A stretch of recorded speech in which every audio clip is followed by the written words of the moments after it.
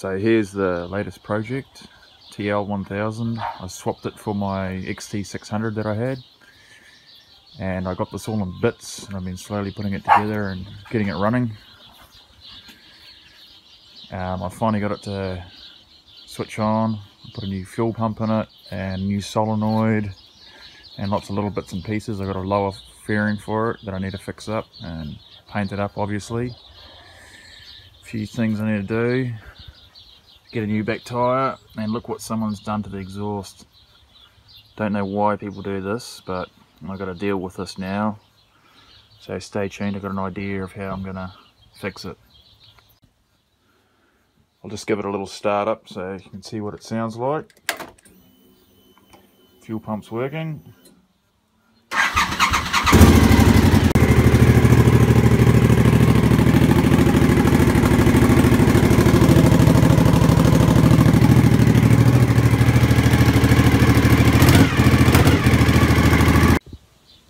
So I can't actually get it to rev up properly. I think it might have a problem with the injectors or something like that.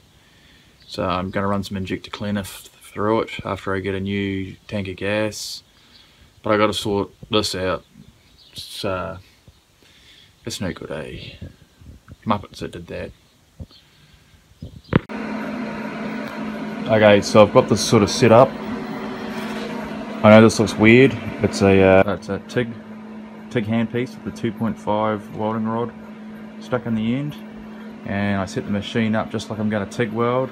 So you get the high frequency start and that with a button and what I'm going to do is turn the amps up real high and see if I can blow away all of this nasty stuff in here so I can weld a plate back in.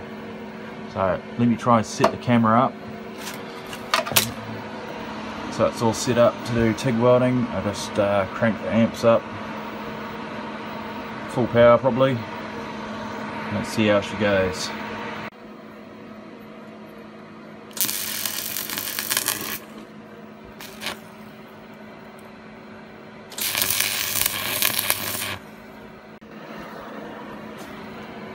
So I don't know if you can see very well, but it's wasting away all that bad stuff so I can get back to the uh, straight bit of metal pipe and uh, maybe put something over top of it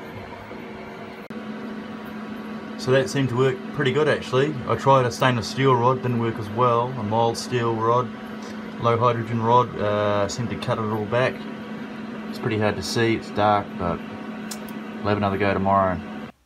So I've welded this all in here now. Uh, I had to use the stick welder because the uh, gas, the TIG was all out of gas. Looks pretty horrendous, but the cap goes over it anyway.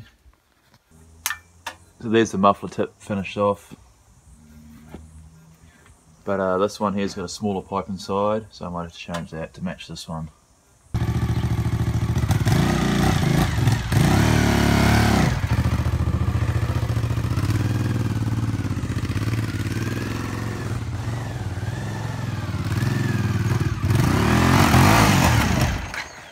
Oh no!